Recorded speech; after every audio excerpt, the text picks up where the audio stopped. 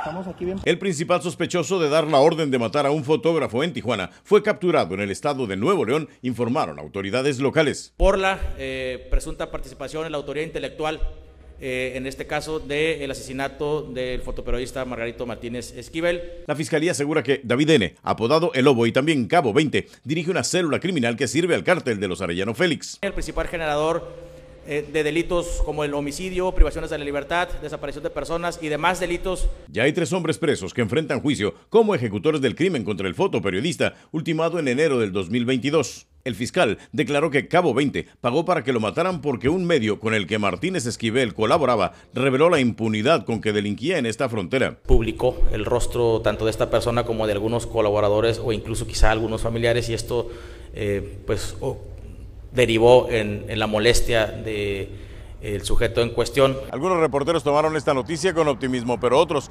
consideran que la justicia aún está muy lejos. Ha sido liberado en otras ocasiones, ha sido acusado también de, homicidios y, y estaba libre y con esa libertad logró eh, mandar a matar a un periodista. Mientras, siguen las protestas por nuevos crímenes contra la prensa.